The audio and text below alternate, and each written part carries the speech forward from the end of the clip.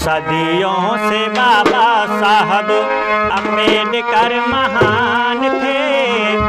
भारत किसान